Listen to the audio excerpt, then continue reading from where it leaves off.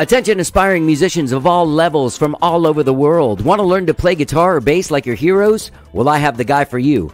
Multi instrumentalist Cory Glaeser has played with Fastball, Paula Nelson, Skyrocket, me, and many more.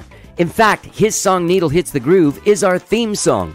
Cory's been teaching for over two decades and is now offering his services all over the world via Zoom. So if you want to learn rock, country, R&B or funk, folk or jazz on guitar or bass, just go to coryglaeser.com or follow the link in the text of this podcast and start shredding on guitar or slapping the bass like a pro with Cory Glaeser at coryglaeser.com.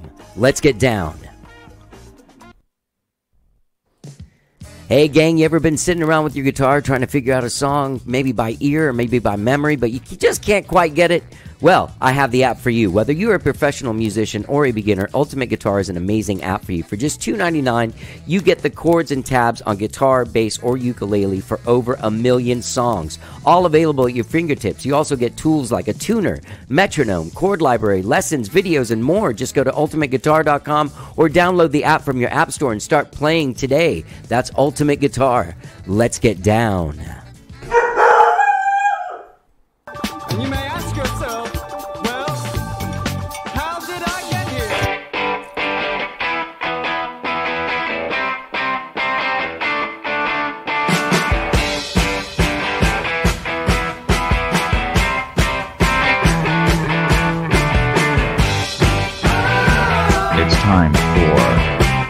Did I Get Here? And now here is your host, Johnny Maldi. When we talk, All right. Hello, I'm Johnny. I'm your host. How are you doing? I hope you guys are all being healthy, sane, and safe. Yeah, you got to stay safe out there, man. The numbers are going up. Uh, you know, it's getting crazy out there. It's just crazy. There's like a level of craziness now that we're dealing with that that you even thought like a, month ago. Oh, it's not going to be that crazy. Yeah, yeah, it's that crazy, and it gets crazier. So yeah, uh, I don't know if you guys feel bombarded by just insanity coming at you all the time, like I do, between the news and social media and trying to find out what's happening in the world and what's going to happen, and the numbers are going up, and you know what I mean? Like there's just like this stress level. I find myself going for walks a lot. I find myself uh, listening to music that I loved when I was a kid more than I normally do. You know what I mean? Do you do that? Are you doing comfort stuff? Like how many times have you watched The Office or 30 Rock or some favorite show of yours, Frasier, Cheers, whatever it might be? Some kind of sitcom from another time when the problems were different. People had problems, but they just weren't like a pandemic and insane political stuff and, and social upheaval and, and just general insanity everywhere. Uh, so yeah, I I don't know what you do to stay sane, but I do what I can. I go walking, I listen to music, I try and talk to friends on the phone. You know, try and do that. Try and stay connected. Call family members, tell them I said hello. Today's my sister Tasha's birthday. I called her, did a video chat with her, sang her happy birthday on my ukulele. I love her. She's fantastic. She's 26 today, man. My little sister is one of my little sisters is 26. I have three little sisters. Gang, I have an amazing show for you today. Matt Novesky from Blue October is my guest on the show. He's also the owner of the Orb Recording Studio. Now he has a brand new band called Icarus Bell with my dear friend and old bandmate Alan Adams. You guys might know him as Alski. He's part of the crew with uh, with Blue October. But Blue October has a brand new album. It's called This Is What I Live For. Just came out in October. Fantastic record. Fantastic. And uh, they also put out this uh, this documentary called Get Back Up. I want to thank my friend Keeve Spare for sending me that. A Triumph of the Human Spirit. It's a film by Nori Niven. Fantastic, fantastic movie, fantastic story. You know, it really is a triumph of the human spirit. And this band has managed to stay together for so long now. You know, Matt and I talk all about it. We talk about uh, what's going on with with the Orb Recording Studios, who all he's been working with in the studio, and also, of course, his brand new project, Icarus Bell, which you can find on Patreon. They have a Patreon page, and they're putting out videos all the time, and they have music that they made. You're actually actually going to hear some music on here, and I actually saw that they've gotten some radio spins on the Buzz in Houston. So congratulations to Matt and Alan from Icarus Bell. Blue October, and of course, Orb Recording Studios. You can find uh, Icarus Bell at IcarusBellOfficial.com, and you can find their Patreon page. Sign up and get involved. Matt and I have a, Matt and I have been friends for a long time. All right, we've uh, we've done shows together. We've hung out together, and it was great to catch up with him on Zoom. I miss seeing his face in real life. I miss playing music with him, and hopefully, we'll all be able to do this again soon. But for now, please enjoy my conversation with the amazingly talented bass player from Blue October and founding member of the band Icarus Bell, and of course, Orb Recording Studio owner, my dear old friend, Matt Novesky. Let's get down.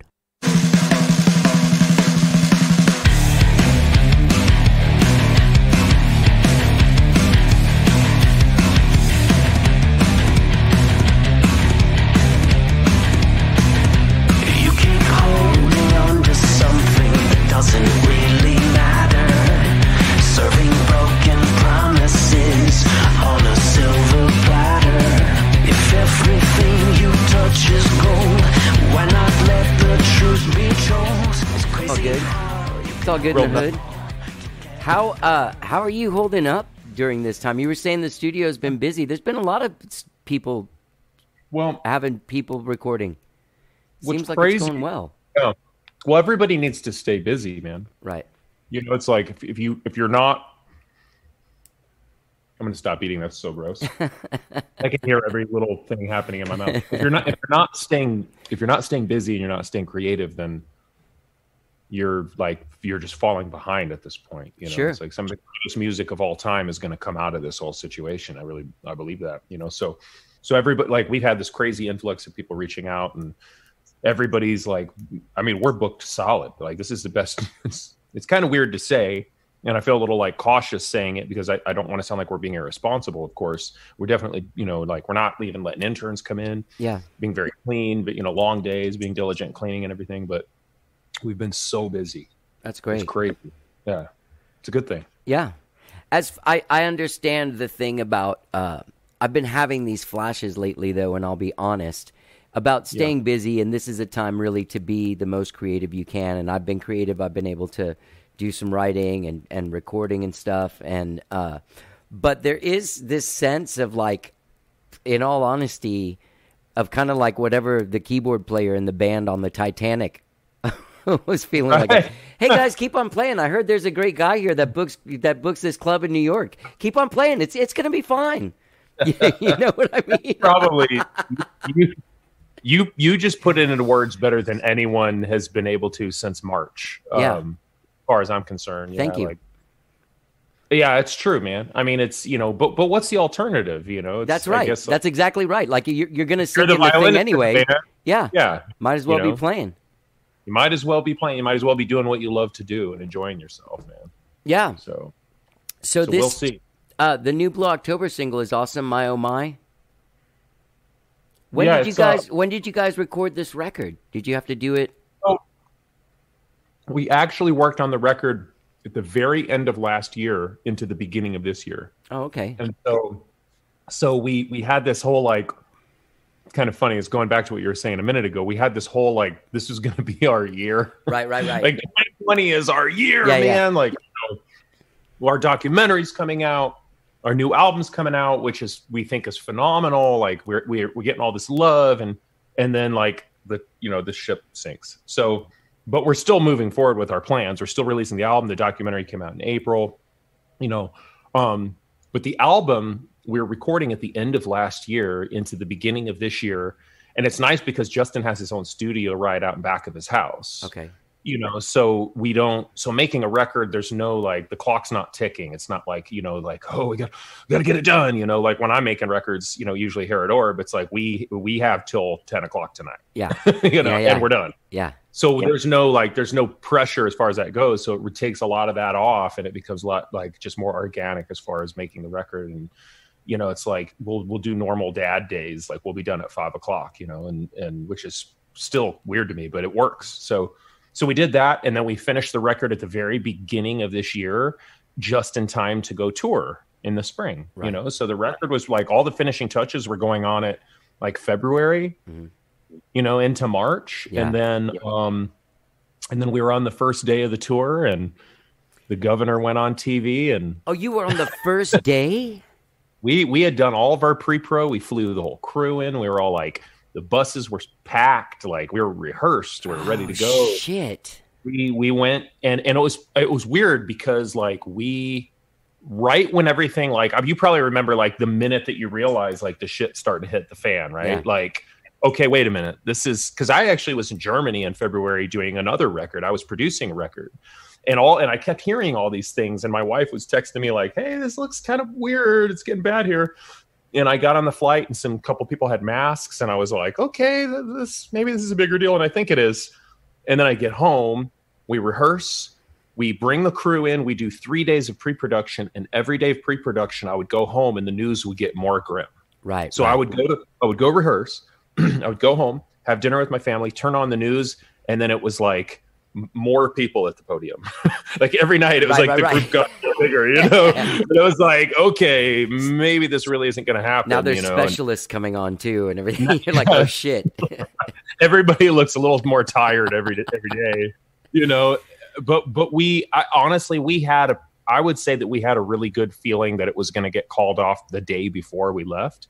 But we were like, we're here, we're ready, you know. Let's just see what happens. And we went to Beaumont, which fortunately isn't that far. But we went to Beaumont. We were ready to load in. Like the, the the bus is backed up to the venue. You know, like the door's locked. It's ready to open. And we went inside and they put the news on the big screen for us and the governor came out and basically said shut down and we got news that day that live nation was pulling the plug and we went okay we're going home that's it wow. crazy Man, Yeah. that must also just be like a logistical nightmare for Paul Nugent, your manager, because i don't mean to laugh no, I I, mean it's funny, but but, it's like- it's like shit, man. That's a big machine. Oh, and it was not it's like the slingshot was back and just ready to go. oh man and and you know i just feel so bad like i'm i'm laughing out of just complete Sure. exhaustion like i feel so bad for him because that happens and then not only that and this is what a lot of people don't realize a lot of people don't think about this right is then you go okay like in the early stages of the pandemic it's okay well we're going to cancel this leg of the tour we have to reschedule all of these dates Right, right. so let's reschedule them for three months down the road. yeah. So Paul, every single day, is now going, okay, I got now I have to get with our booking agent and push these dates back. I still got to prepare for the next leg. Okay, now that's getting canceled. Now I have to reschedule those dates and I have to, and, and it was just this constant vicious cycle of like, what do we do? Like, is this hmm. even possible? And then finally, it really just got to a point where it was like, we're just chasing our tail. You know, it's like it, it, nobody knows when this is actually going to happen. Like, it's obviously not going to be until early next year that we're realistically going to be playing in front of any kind of a, a crowd. You know, so let's do what we have to do. And then, and then I think that gave him at least a little bit of a breath. You know, to just Yeah. go, okay, stop.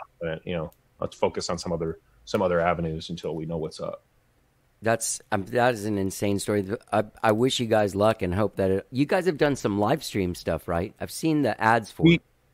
Yeah, we have. We did two, and they were actually phenomenal, man. We had a, we did one in July at the end of July, and Justin is, um, Justin's like the king of social media, so he's like constantly interacting with people, and he's always, um, like a couple times a week, he's doing stuff online, and he's very, very active with it. I, I commend him for it. He's really good at it. So he's been really busy, and he's done a couple concerts as well, like just solo acoustic concerts. But then we did this one in July, and it was kind of like, well, is it like, what's this going to be like? You know, it's like let's let's just jump in, you know, to the deep end and just see if we can swim, you know. And and it went, it was unbelievable. Like it exceeded all of our expectations. That's I thought it was phenomenal. You know, the production was really top notch. We did it at uh, studios at Fisher, um, in Fisher, Texas. Okay, Yeah. Um, like full, you know, production sure. film studio, in a sound like, stage and everything. sound stage, every uh, all you know, the whole the whole nine yards. So we didn't we didn't cut any corners on that, and and it went really well. So we decided to do it again. So we did another one this last weekend, and we did our whole foiled album in entirety, which was kind of interesting because some of the songs we haven't even ever played Right, right, live. right. So it was like, oh, I actually have to rehearse. Um, and that went really well. You know, so I think I think every couple months we'll we'll keep doing it. Yeah. Are you you're managing bands? You are so I? I uh, that word scares the living Yeah. shit out of me.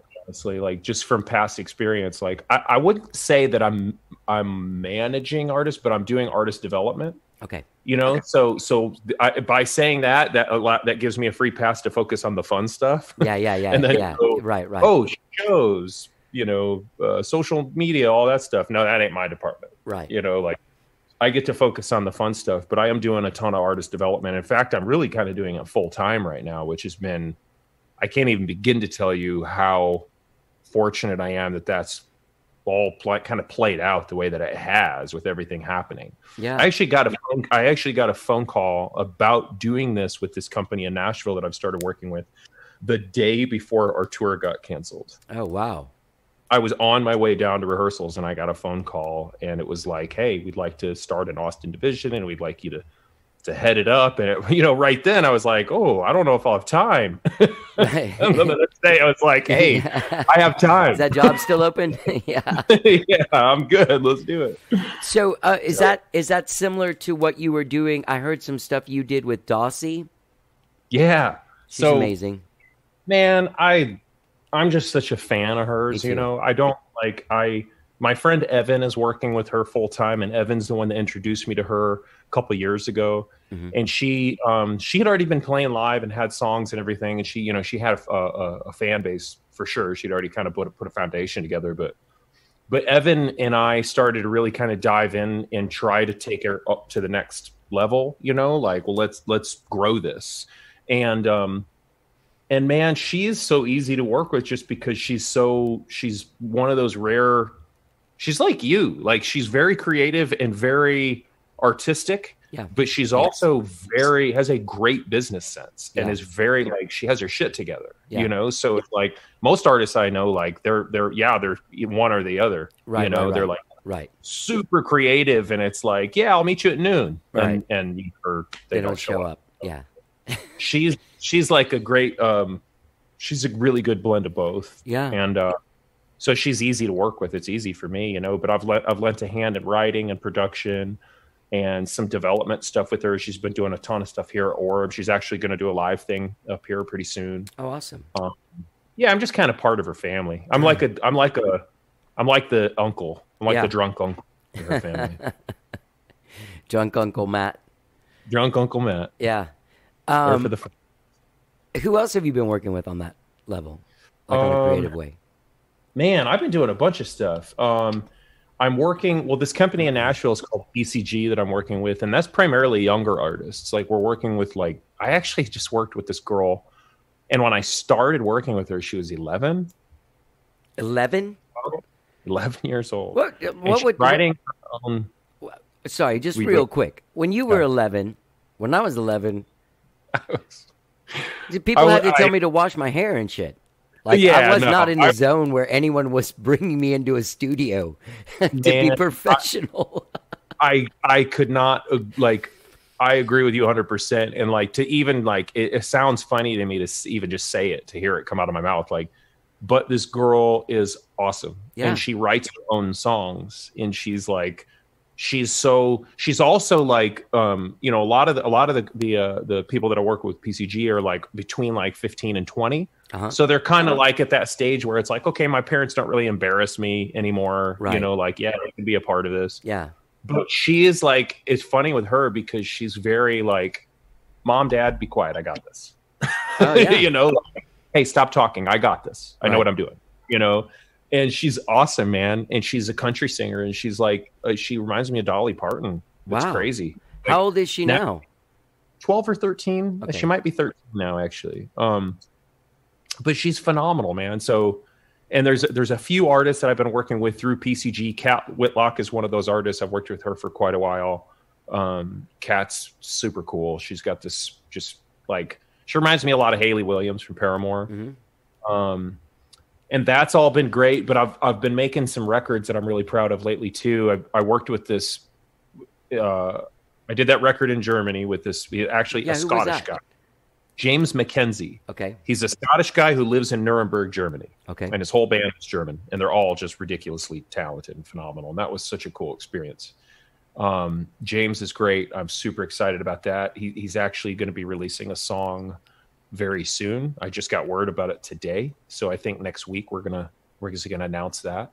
And then, um, and there's a young guy here in Austin named Elijah Delgado, and Elijah, we did an EP. Matt Melly and I did an EP with him, and he's got just like hundreds of thousands of streams already uh, Wow. on this EP, and he's killing it. He's doing. He's actually. I've gotten a lot of other work, like this girl Grace Sorensen, who's phenomenal. Some other artists have actually reached out to me because of Elijah.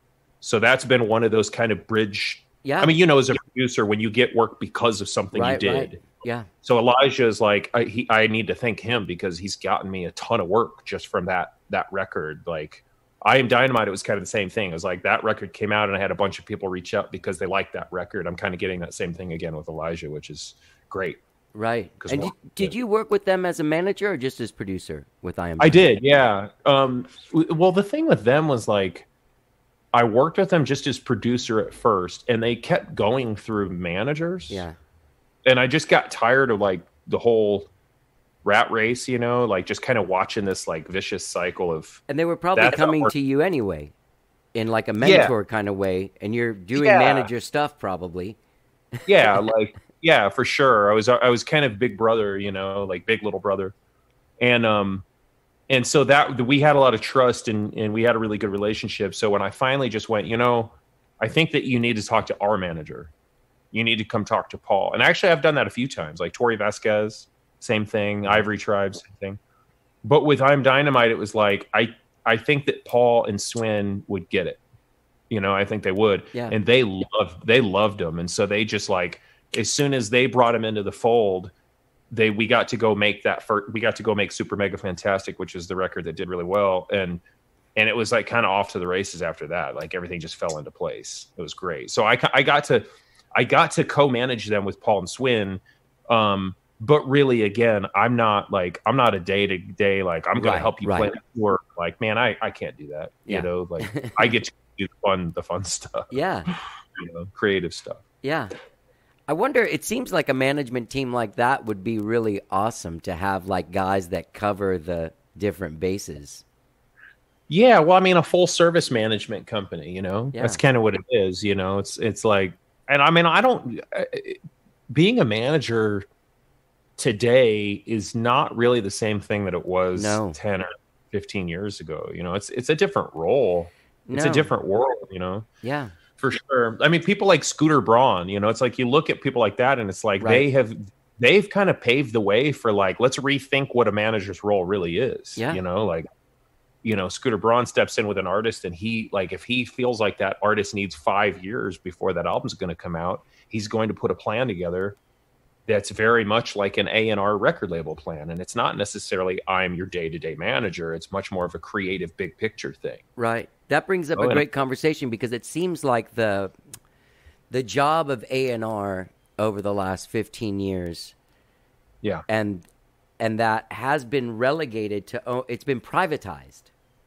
right. Like the Yeah. the company that you're working with Yeah. people like the Austin Music Foundation and the stuff I do there is A&R stuff. You're developing an artist. Uh, It, it is, and it's been, and I'm I'm actually really glad that it's been privatized. But it's been privatized really because record labels kind of just effed it all up.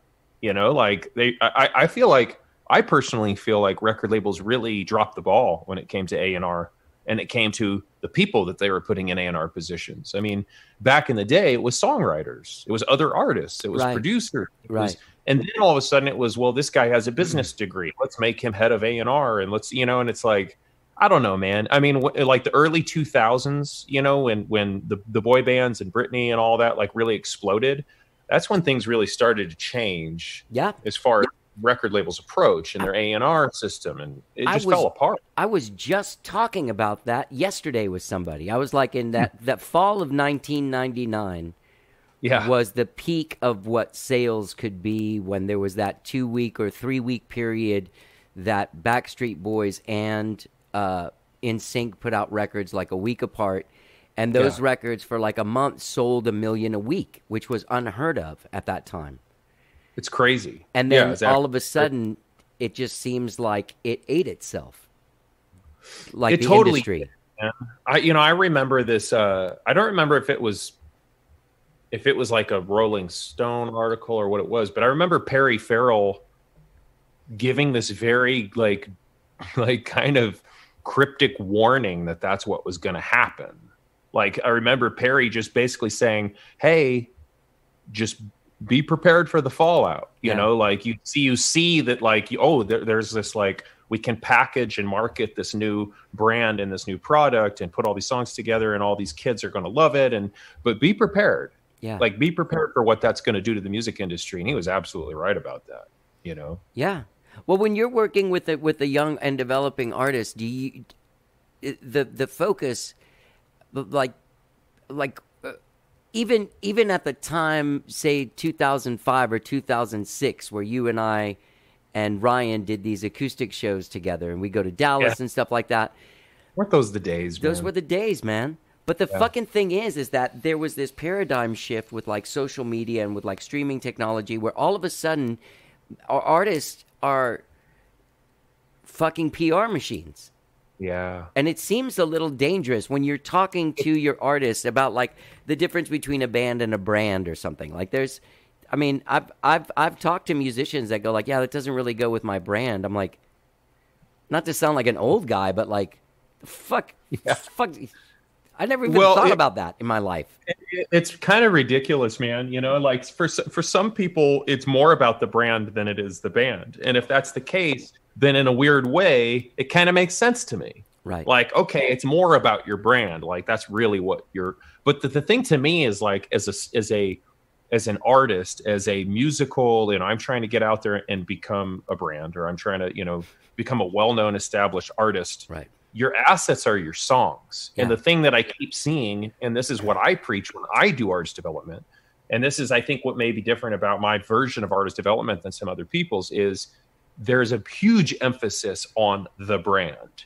With me, there's not. There's an emphasis on your songs. Yeah. Like because those are your assets. And like I don't care, you know, how how good looking you are. I don't care how great your voice is. I don't give a shit about any of that. If you don't have compelling, great songs that are unique and you have a story and there's something unique about you, nobody needs another Billie Eilish. Nobody needs another Lorde. Nobody needs, you know, an, like that. We don't need those things. And some of those copycats will have some some success. It will happen. They'll come and go, but there won't be careers.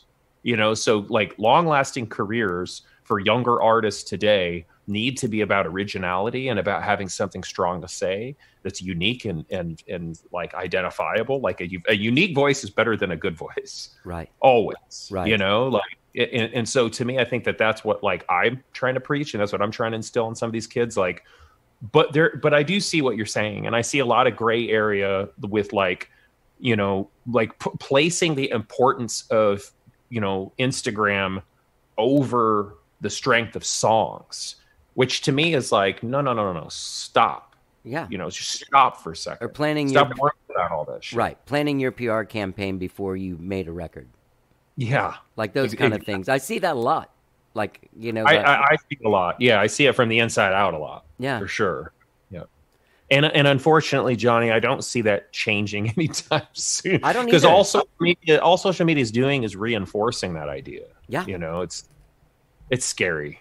Yeah. You know, But the, I do see people, and there's there's people that do give me hope as an old guy for the next generation. Is somebody like a Sarah Dawsey who can handle Yeah. all of that stuff like a like a millennial can, but then Yeah. also has badass songs, is a badass musician, yeah, works on an artistic level where she knows there's nothing to. You have to have something to talk about before you talk about stuff. For sure, man. And that's why like people like her need to be mentoring and teaching younger kids. Yeah. You know, like people like well, people like us and people like Paco Estrada and Casey McPherson and like those those to me are like that's my crew and that those are the people that I that I I look up to and I trust and I reach out to when it comes to these things because I think that they get that. I think that they understand that, but they also realize like I kind of have a duty to teach the next generation of artists and musicians, and I kind of have a duty to, to to to sort of raise them the right way and to mentor them that like, hey, um, I know that you you get inundated with all this information and you see this all the time, but take a step back and focus on your songs. Like Yeah. focus on what makes you special. If that takes three years, then so be it. You know, but let's let's worry about those things. You Yeah. know, we have we have a responsibility. Yeah, We do. we totally Yeah. do. So, uh, speaking of new music, you also have new music, Icarus Bell. Yeah, man. Yeah, Those I, uh, tunes are really good, man. You sound great singing. It's great to hear you on there. I I hate my voice. I really do, and I don't say that in a in like a. Oh, I don't. I really don't like my voice. Tell me it's good. I want to Yeah, hear yeah. it's good. Like I, I really genuinely hate hearing my voice, and it's not that I don't think I can't pull it off because I know I can pull it off. I've done it, Yeah, yeah. but like I I've heard like live stuff back from like back in the A plus days, Right. and I was like, oh my god, like it's just sounds like daggers to my ears. You know, I'm like, ugh, I don't like that at all. Like that just doesn't work for me. But the nice thing today is we have so many different tools in the studio where it's like, okay, I think I've kind of figured out how to do some things to make my voice more of an instrument and manipulate it in a way that like, okay, I can live with that. Yeah. like I, I you know like um i really like doing like vocal synth and i like adding you know some some kind of crazy effects and doing some things to make it more of an instrument um to complement the music rather than be like front and center. And that's kind of what like even with the mixes like that's one thing that i've had to establish right off the bat is like don't put my voice on top. Right. that's not what this music is. This music is bass and drum music. Well, seems it's like supposed to be yeah Yeah, sorry, I didn't mean to interrupt you, but it seems like you're you uh you did. There was one song and I can't remember which one it was that had you sang a really cool harmony through almost the whole thing yeah with another Oh, vultures. Yes, yeah, yeah, yeah. vultures. Yeah, yeah. Um man, and that's really like I I the thing the thing with this project, um, which I'm doing with Alan, by the way. Yeah, Alan's Alski. was my my uh, hetero life mate on this. Um it it's it's very much about the music beds and very much about the lyrics. And not that the melodies aren't important, but it's not like it's not it's not supposed to be the typical like here's your super strong chorus melody you know it's more about the message and it's more like I- honestly like it kind I, it, i'm trying to kind of go back to the and i don't mean to sound like a super fan because i just said perry a minute ago but the jane's addiction model a little Uh-huh. bit which is like oh here's a memorable bass line Right. you know like how many bass players when in a sound check do you hear them going do do do do do do do do do do Yeah, exactly, exactly. Yeah. you know, it's yeah. like so I want I want to kind of I want to kind of do that with this music and like okay, let's start with like the signature hook is more of like the bass part or Right. the drum part, and then off that the guitars, the keys, the vocals, those are all just kind of add to the big picture, you know. Um, but the lyrics I'm very serious about. I'm yeah, very really serious. The uh the song with heavy is uh, Aces. Oh, Aces, Heavy is yeah. the that- head that wears the crown line. All Yeah. of that that whole thing is great, like really very poetic. And, Thank you. And fantastic Paco lyrics. Yeah. yeah yeah that's i mean and, and and i know that like um you know right now obviously there's a lot to talk about There is. you know like artists like us are, are living in a really fractured like divided world and so there's a lot to talk about. And um and so that song definitely lives lives in that world you know? It's definitely i mean there's a statement there. There's definitely i'm definitely expressing some some political beliefs there for sure you know but obviously i'm not the only person doing that right that now. was what I have a song I wrote with my friend Gabriel Rhodes, and we recorded it. And when I was listening to that song Aces, I was like, it seems like people are like I I wrote a song that lyrically lives in the same world where it's almost like uh reading the paper kind. of, It's it's difficult. Right. I'm not like a I'm not like a so a socially conscious songwriter. I just write songs about myself and what people have done to me. you know what I mean? same, right. And and and I always felt kind of like disingenuous being like that because like some of my most prolific times were like in the 90s when there really hmm. wasn't a lot to like stand up against. I mean, to me, it seemed like everything was was going pretty good for everyone.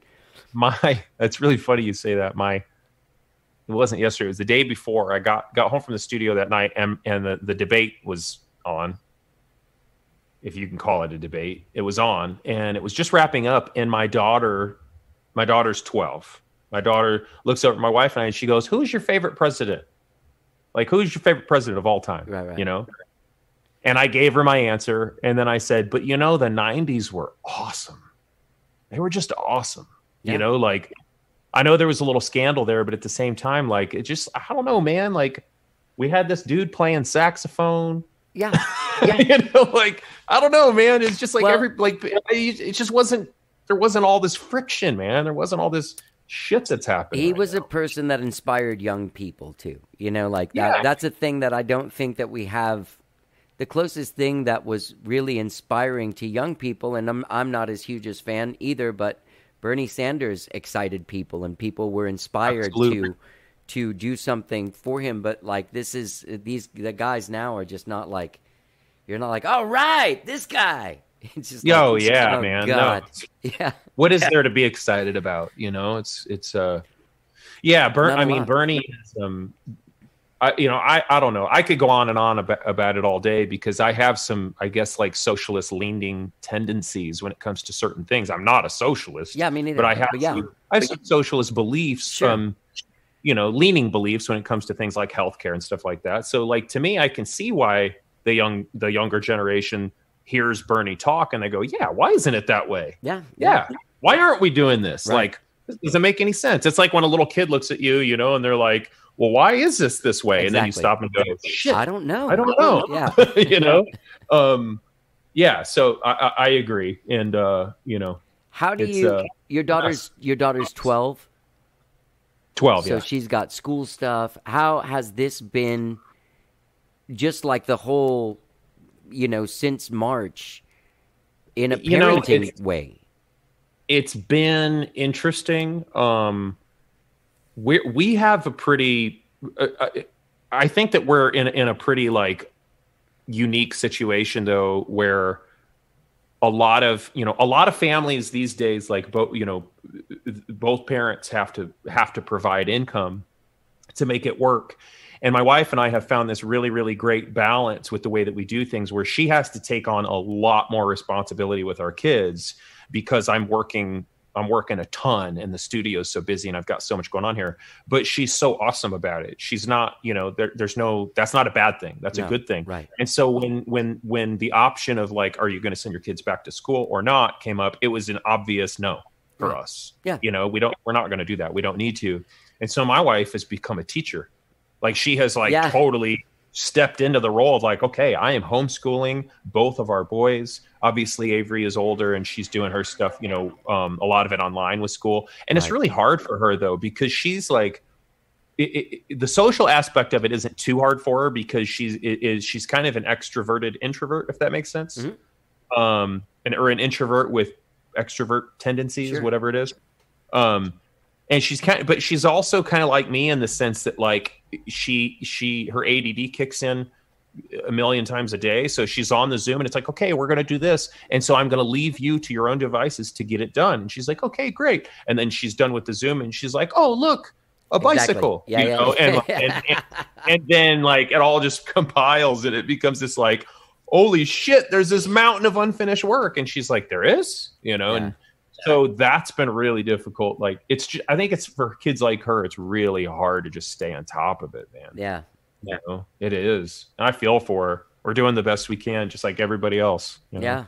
Do you have to do a lot of explaining? Like, I mean, obviously she's old enough to know that there's protest. Does she ask why?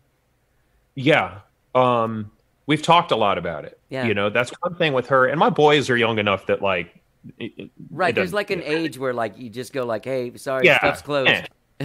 yeah yeah okay whatever um but with her obviously there's a lot of discussion and there's a lot of talk about um and you know and i and i, I it- it's it the thing that i love about having a kid that's a preteen or you know basically a teenager at this point is like it it reminds you of a lot of things that maybe that you've kind of taken for granted or a lot it reminds you yourself of things that you every once in a while you just need to say it out loud. Yeah. you know like you need to have those conversations. You go shit man. Yeah that that is how it's supposed to be. You know Yeah. or like just life is what it is and you get distracted with all these million other things going on and you stop and think about well why? Like Yeah. why is this this way? What can i do to make a difference?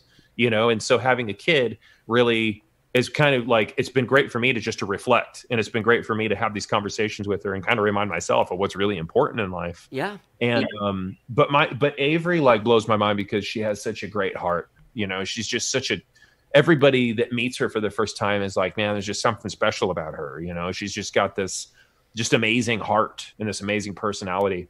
And so i'm super proud of her because of that but i love having these adult conversations with her now. I love having this this you know used to be this little kid this little child and now we're having these adult conversations and some of them are heavy Yeah. some of them are really heavy, man. When you have something like what we witnessed the other night, Yeah. you know, and that's the the president of the United States bullying and acting like a child, Yeah. you know, and interrupting. Like I read this morning, it was like 128 times or something they counted in a fucking debate. You know, it's like you you you you got to look over at your kid, and they're just you know you see the look on their face of disgust and confusion, and you have to address that. You got to have a conversation about it Yeah. you know, and it happens, man. There's Yeah. a lot of talks about us. So so this obviously has affected your mindset and and writing these songs. Um when are these songs going to be available to the people? The Icarus Bell, by the way. Oh man, isn't that the magic question? Um, a lot of that depends on how quickly I can get it done. It's all on my shoulders at this point because, A- like Alan, it's funny. I love Alan so much. Me every once in a while. Um, well, I'll get a text from every once in a while, and it's like, "Hey, so dot dot dot, you know, where are we at?" You know, and I'm like, "I know, I know." Um, lyrically, I'm I'm making progress for sure, uh, but it really now it just kind of hinges on the vocals because I actually have 11 song beds Oh wow. that are like and, and the two that the the two that you've heard the complete versions of are actually the most straightforward of the bunch like the rest of the songs are are a lot more uh you know some of them are eight minutes and Oh wow. some of them have like crazy time signature changes and you know and a little more progressive How I'd did you guys do this? How did you guys do this? Did you get together and jam and record Did. the jams?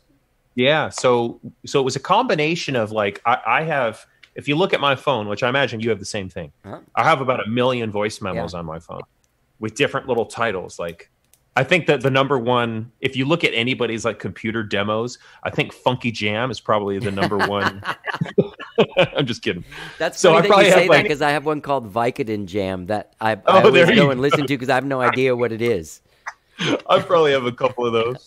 Um, yeah, so I've got you know whatever Funky Jam, Vicodin Jam. I got all these different you know Yeah. voice memos, but some of them are fucking cool. You know, so I go back and listen. I'm like, man, I got to do something with that riff. You know, and and it's been nice because Alan and I are both you know we're '90s dudes. You Yeah. know, we like Nine Inch Nails and Perfect Circle and all these other things that we grew up on that we like that we haven't been able to really you know um, work on in a long time, like something totally in that vein.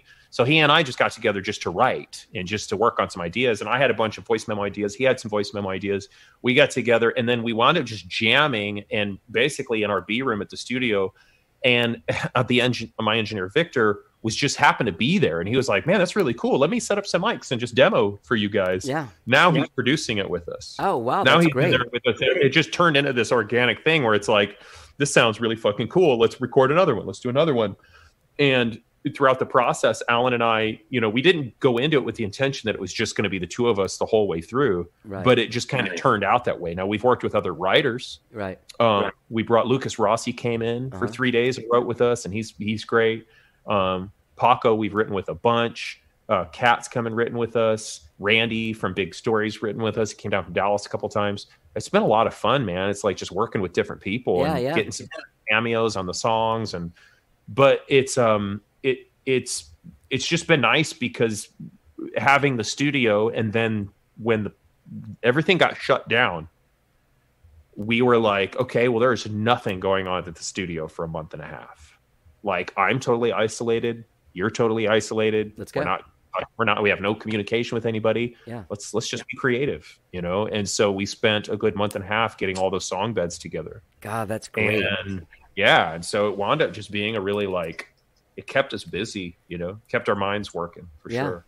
I would be remiss if I if I didn't mention how great Alan sounds on on Man, that too, man. yeah. Like he's just fucking great. Yeah, he he uh and he kind of took a break from playing for a while, you That's know. So yeah.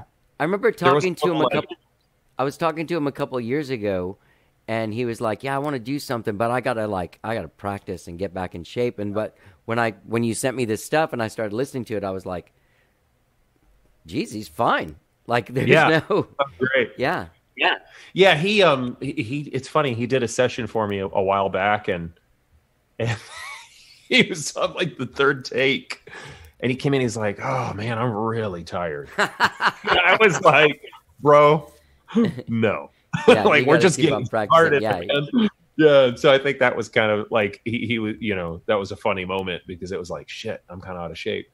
But he, uh, man, he went and he built this basically drum room in his garage, like this whole like soundproof, basically just box with AC, and he just rehearsed for a couple months and really got his chops back and like really like just really like do- dove back into his craft, man. Yeah. You know, the thing that makes you happy, right? And he and so by the time we started putting these songs together, he was in good shape for sure, and he's done some really cool shit. Yeah. Like there's some drum, there's some cool drum moments on these songs for sure. I'm Yeah. excited about it. Yeah. I'm looking forward to hearing the uh, the rest of them. So this this Thanks, there's man. no there's no release date at all for this stuff. You're just kind of There's not a release date as far as the album goes, but I will say this: we ju- we released Vultures to our Patreon members only, a lyric video. But we're actually going to put this actual song out very soon. And Aces, we shot just a, a very basic performance video for it, but it looks great. I should actually have that in hand in the next few days. So I think we're probably going to put that out in a couple weeks. awesome. So we're going to start putting singles out with it like this month. You so what's your Patreon? Is it Icarus Bell? Um, Do you? Or, really I bet if they look up Icarus Bell, they could find it. I just didn't. yeah, I mean, it, the nice thing about Icarus Bell is there's no other Icarus Bell of any kind out there at all. Like, No. so our our Icarus Bell officials, our Instagram. Um, I believe Icarus Bell official is the website. If Okay. not, yeah, Google Icarus Bell. That's all you're going to find is us. You know, but our Patreon. If you go to our website, there's info on there about Patreon. If you go to the homepage of the website, it you know it'll it'll it'll give you some direction for sure. Yeah. Better Um, than me. who who produced the "This Is What I Live For" the new Blue October album? Was it you guys? Justin. Justin. Justin. act- yeah. So the last two albums we've done totally like on our own, but we've we've built this really cool chemistry with Eric Holtz. Uh, Eric is the engineer who's engineered the last couple of records, and E- Eric has developed into a role of from just engineering to co-producing to actually writing as well. Oh, wow, So he's great. he's Wow. co-written some of the songs on this last record. Eric's a phenomenal multi instrumentalist. Um, but he he's been with us since Sway, like back in 2013. But he was a student at in the audio program at UT, Okay. and he worked on that record. He assisted on that record, and he's just very like over the years has really kind of grown in this relationship with the band where he's like another member of the band basically Wow. and um, and so Justin has his own studio now, and Eric is his guy. He's his right hand man at the studio, you know. So he does everything there. So they're together all the time, you That's know. awesome. So Eric's able, like like to really kind of decipher all of Justin's uh, language, yeah. you know. Yeah. Like some of us, you know, like we have our own language. Yeah, like, yeah. Put more put more shimmer on this, Right, you right. know, put more whatever, you know. And some engineers just look at you like, what do you what do you mean? You Yeah. know, what are you talking about? Eric gets it. You know, Yeah. he knows what what he's saying. You know, so he like he, they have this really cool chemistry, and it's it's turned into something pretty special, honestly. But but the last couple records are the like uh not this one, but I hope you're happy was the first album that we did not bring in a producer for an outside producer, and it worked out great. It went it went really well. You know, it's like we don't. I feel like at this point in our career, like it's good to get some outside opinions. Yeah. But as far as day to day goes, it's easier to just do it ourselves. you Sure. know? So, and we did the same thing with this record. Super proud of it. That's awesome. And Tim Palmer mixed the one from 2013, right? Sway. Yeah, Tim's mixed a lot of music for us. Actually, yeah, he he mixed Sway. Um, he did some production. He he, uh, he did uh, he produced the album before that. Um, he produced the album after that. Home. Right. um, co-produced it, I should say, with Justin. Uh, Tim, I actually was just talking with Tim this morning. Funny enough, uh, Tim is my, and I love so many different people we've worked with over the years. Nick Launay and Dave Castell, Steve Lillywhite, like some great producers, some great guys. But Tim, I just have this bond with Tim. You know, just this. There's just this thing where it's like, you know that he's not gonna bullshit you about anything, Yeah, but he's also a very nurturing, kind, caring guy. Very much. so working with him is a different thing you know and um i don't know like i feel like tim is like i, I don't know he's kind of that you just know that he's always in your corner no matter what and you know that he's going to tell you the truth and you know he's going to be super straight with you even if it breaks your fucking heart Yeah, but he's going to do it and i love that about him Yeah. and he's just my favorite man. He's my absolute favorite. Yeah, he's a fabulous dude. Are you uh are you still a Black Fret mentor?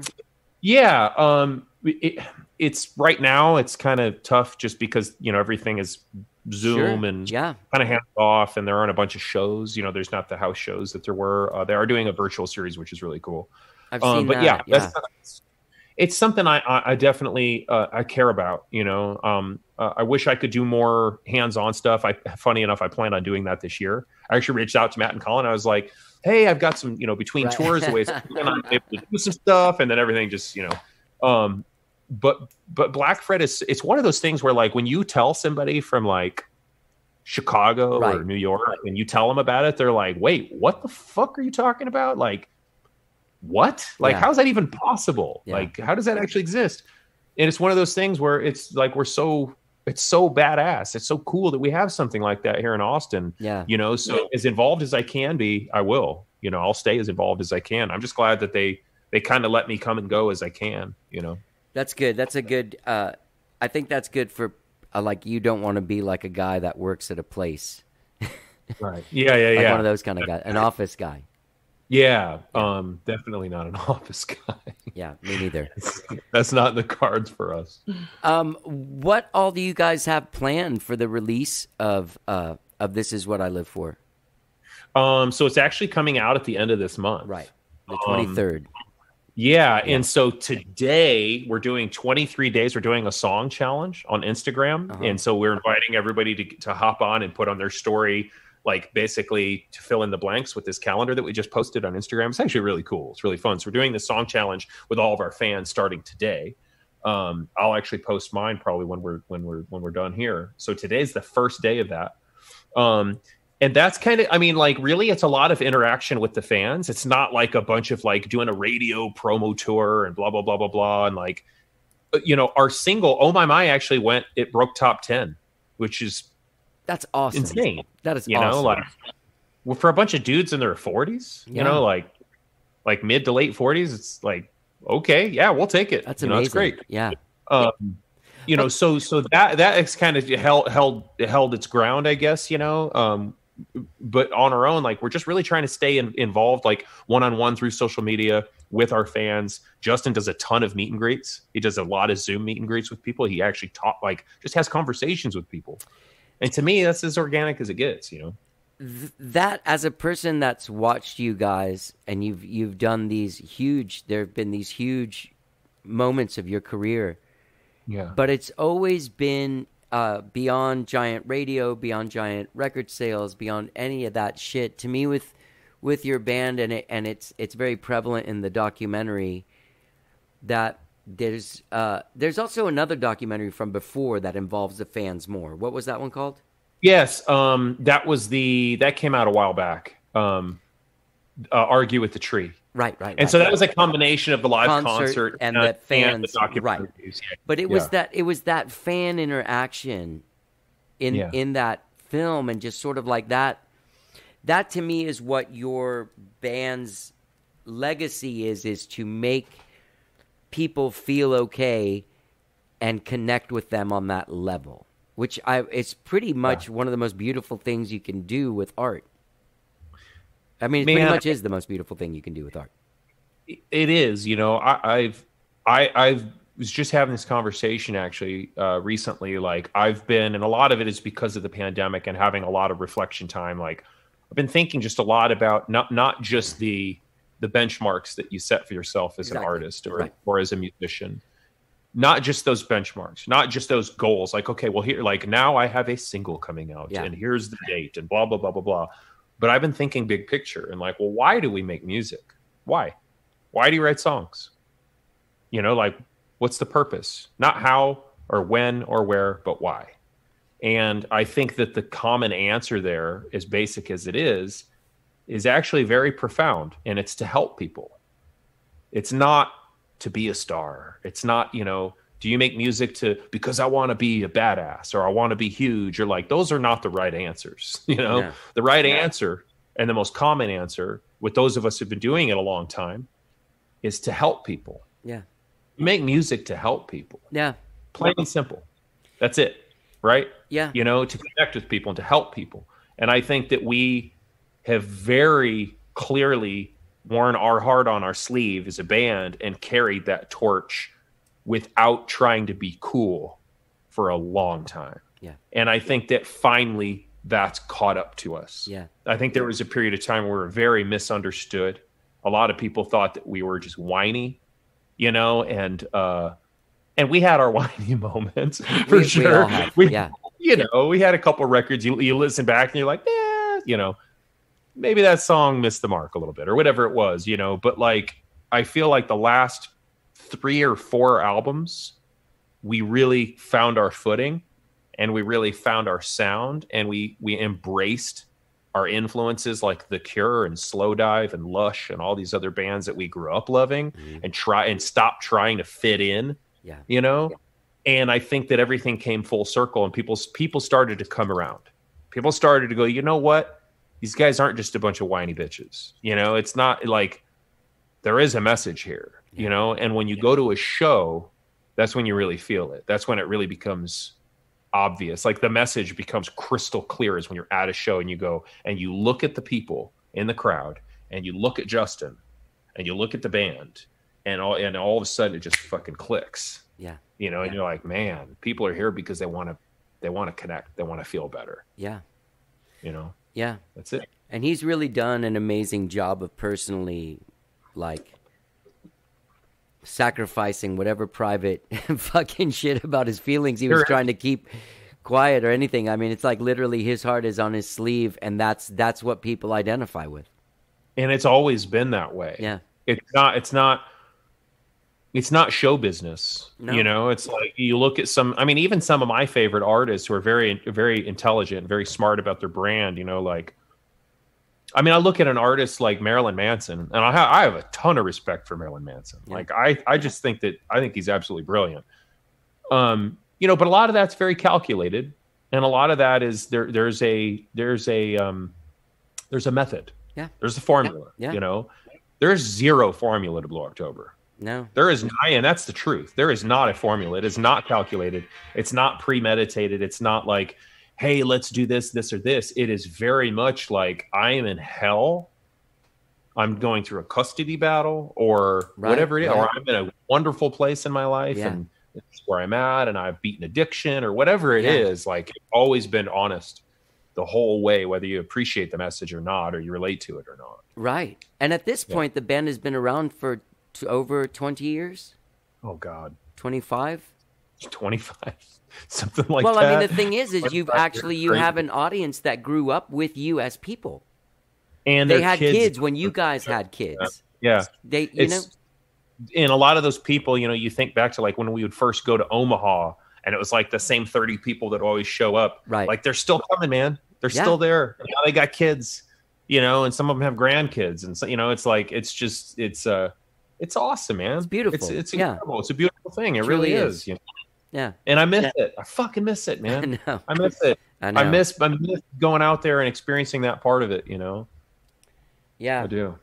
I noticed that connection doing those, uh, with just doing live streams for like a month at a time and doing a weekly thing whenever I, w- I go to stop and it's the last one. You get messages from people that are like, this is kind of like the thing that I do on Thursdays that makes my week, you know, lift up in a certain way. And you realize we have this responsibility to humanity to, Uh, yeah, I, I, I agree hundred percent. You know, and it's it's also I, I've never been I've always really enjoyed doing um, doing events, and I've always really enjoyed going and, and doing things like Black Fret or speaking at TRCOA or doing any anything where I can just communicate and talk to people and have great conversations. I've always been a big fan of that, but I'm, I've also never been a big social media person. Right. So I've never been a big like, hey, this is what I'm doing today. Like Right, I'm right. going live on Instagram. That's just not something that really even occurs to me. I guess. Right.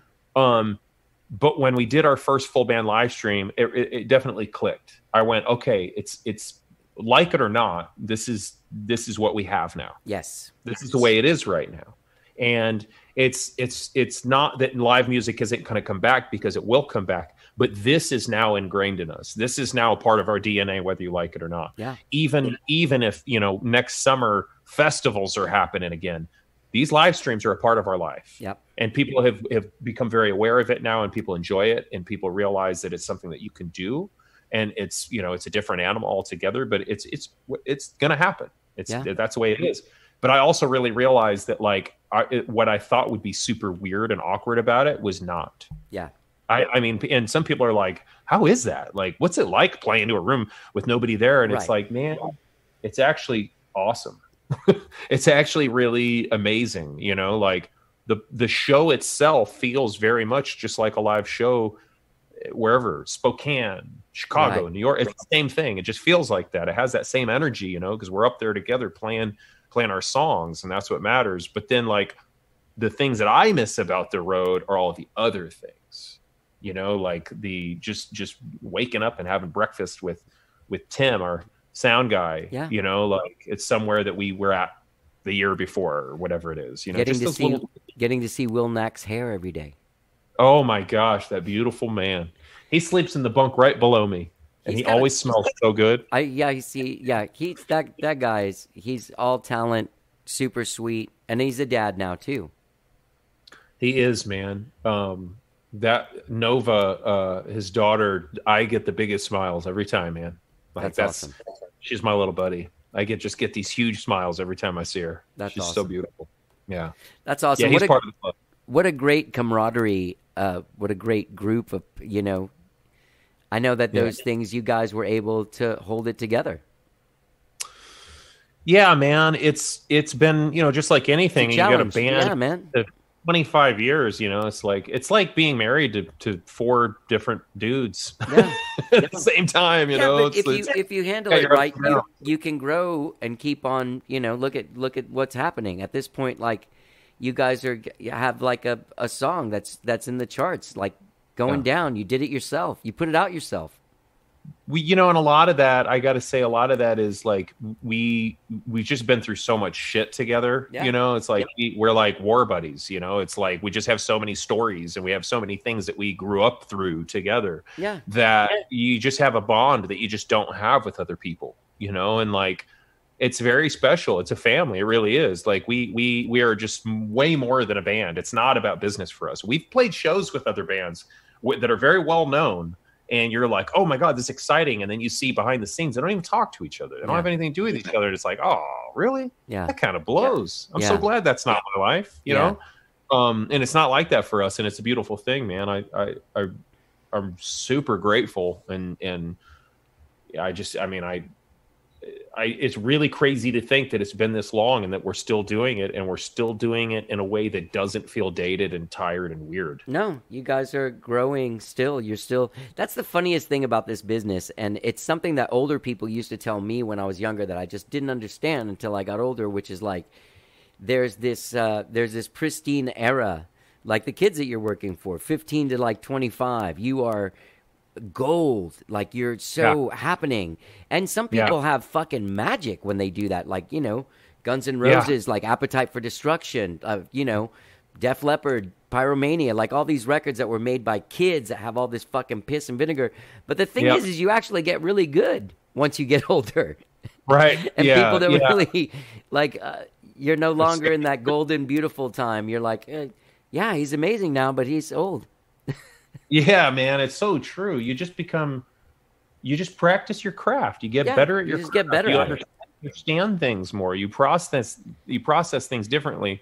You know, that's one thing. Is like I, you know, and and I have a, an interesting perspective on all that too because of the studio. Right. So I see so many people come and go, and I get to meet so many different people that like and we're not a genre specific studio at all. Like Right. we've had you know from SZA and Bieber and you know Lil Wayne Pentatonix to like Holiday Mountain and you Yeah, know like just yeah. groups that like don't have anything in common with each other at Right. all and everything in between. And so I've gotten to kind of have this like you know sort of behind the scenes like look at everything and and I and I really pick up on that. And one thing I pick up on is like the the people that you're scared of sometimes like oh i'm scared to meet the beach boys or i'm scared to meet the you know because they might break my heart usually the people who've been doing it for a while are awesome Yeah. They're usually super down to earth and super easy to talk to and very approachable and and fun and cool and i mean we had snoop dogg here the other day Oh, and no like way. my engineer was like man he was amazing he was so fucking cool and and it's the younger kids who have maybe had a little bit of taste of success who are usually the on the other end of that Right. spectrum Right. and, and in the back of your mind all you can do is go they'll come around Yeah. Yeah. They'll or they they'll get it at some point. you know yeah at some point they'll they'll get over themselves Yeah. you know like but yeah ego's a funny thing It is. for sure It is. Well, man, um, dude, this has been great talking to you. I know you have a session coming up, but people can find the Icarus Bell on Patreon. They can go to IcarusBellOfficial.com. Uh, Blue October, you can find at BlueOctober.com. Orb Recording Studios, OrbRecordingStudios.com. The new single, Oh My My, by Blue October is available now, and the record, This Is What I Live For, comes out on October 23rd. It's a lot you of know more I'll i do I'll put a lot of uh, I'll put links to all those those websites on there. But man, I'm very excited to uh I'm very excited you guys are making this music and it's great to talk to you, man. I I do miss you a lot. too. yeah you too You've always man. been a great a great dude. Thanks johnny Yeah. too man And the work Every, everybody loves johnny everybody i talk to you Oh, know johnny nice. they love you man yeah well, they love Matt too. thanks man They do. I've never heard anybody say like that Matt Novesky's a dick. you know maybe in like 2002 Yeah, it yeah, wouldn't yeah. surprise Oh, yeah. you heard that a couple times but i like to think i've grown up a little bit since then Well, what's there's a statute of limitations. so I don't even want to talk about the Johnny in the 90s, but Johnny 2010s has been has been okay. oh i've known i've known you for a long time yeah. Well, dude, I love you, man, and um, I'll let you know when all this goes up. And congratulations, and uh, people can get out there and find Orb Recording Studios at orbrecordingstudios.com. Book some time, check it out. It's a beautiful studio. awesome Yeah. thanks man Great talking to you, man. pleasure buddy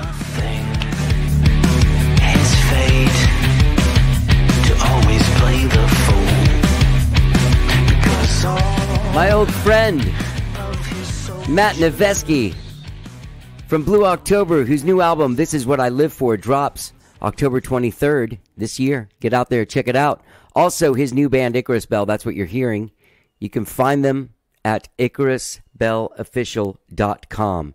You can find Blue October at BlueOctober.com and find Orb Recording Studios at OrbRecordingStudios.com. Great talking to my old friend Matt Novesky. What a great dude, man. Nice guy, great songwriter, great producer, fear of management, great dad, great husband, and a great friend. All right. Hey, don't forget when you're out there checking out all of these dot coms, such as Blue October Orb Recording Studios and IcarusBellOfficial.com. Don't forget that you can subscribe to this podcast wherever it is that you find podcasts, be it Spotify, Apple Podcasts, TuneIn, Overcast, anywhere you find podcasts. New new podcasts all the time. If you want to go back, check out some archives, you can always subscribe on the Podbean app. Yes, it's available on Podbean. You can you can access every show ever released by How Did I Get Here on that way. All right, thank you so much for listening to the show. Let's hear some more music from my friend Matt Novesky's new band Icarus Bell. Find them at IcarusBellOfficial.com. Don't forget Blue October's new album, This Is What I Live For, out October 23rd. Find them at BlueOctober.com. If you're interested in recording at Orb, at Orb Recording Studios, go to OrbRecordingStudios.com. Have a great day, whatever it is you're doing. Let's get down.